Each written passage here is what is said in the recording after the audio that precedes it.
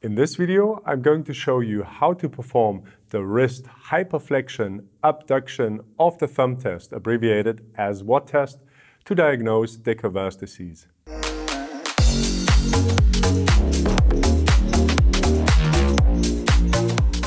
Get our very own assessment ebook and mobile app.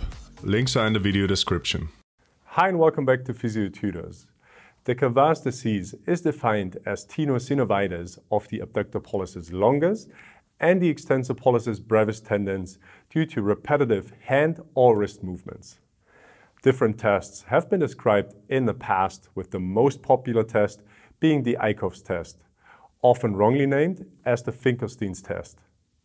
Over the years, a misinterpretation has occurred between these two tests, the latter being confused for the first as the Eichhoff's test is very provocative and causes many false positives, Goubau et al. in the year 2014 came up with the WHAT test. They found a very high sensitivity of 99% with a low specificity of 29% in the diagnosis of de Quervain's disease on ultrasound. This is the only study evaluating this test so far, which is why we give it a moderate clinical value to rule out de Quervain's disease while it does not seem to be useful to confirm the disease. The disadvantage of both the Finkelstein and Eichhoff's test is that they are both mainly passive tests that are not able to isolate both tendons of interest while also stressing unrelated joints such as the radioscaphoidal, the scaphotrapezial, the trapezial metacarpal, and a metacarpal phalangeal joints. The WHAT test was designed to isolate the abductor pollicis longus and the extensor pollicis brevis tendons while giving the patient active control over the pain elicited by the test.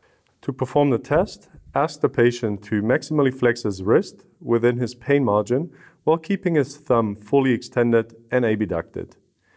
Remember, extension of the thumb is a movement of the thumb towards the radial side in the plane of the palm, and abduction is a movement away from the palm the examiner applies a gradually increasing abduction resistance to the thumb.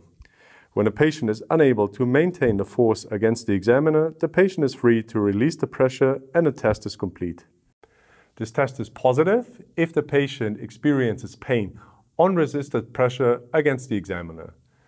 Actively contracting the APL and EPB during the WHAT test causes shear stress on the inferior palmar border of the pulley of the first extensor compartment, thereby giving a painful exacerbation in the initial stage of de Quervain's tenosynovitis.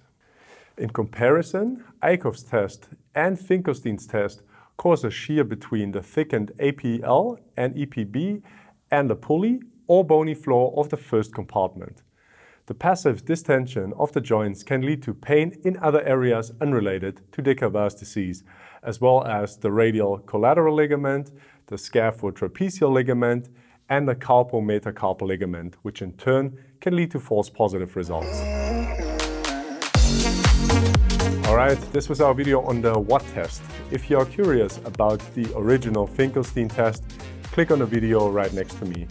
If you really want to dive deeper into clinical reasoning for musculoskeletal complaints, check out our online courses and for a great overview of all orthopedic tests, have a look at our assessment app in the App Store or Google Play Store or get our assessment ebook. Thanks a lot for watching and I'll see you around. Bye.